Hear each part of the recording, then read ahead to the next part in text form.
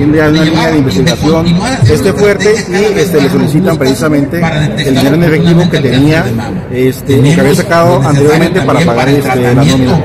Hay una fuerte línea de investigación en ese caso y, este, y yo creo que en, la, en las próximas en el próximo día va a haber una resolución final. la Condesa, inmediaciones de la Condesa. Ah, es el fraccionamiento Quebec, el oriente de la ciudad. ¿Pudiera ocurrir esta relación que tendrían las eh, denuncias que hacen contra cajeros que pudieran advertir a personas eh, que retiran fuertes cantidades de dinero? Eh, eh, hemos estado analizando diferentes casos en donde se han presentado robos posterior a retiros de, en sucursales bancarias. Hasta el momento no tenemos este, un indicio sólido de, alguna este, participación.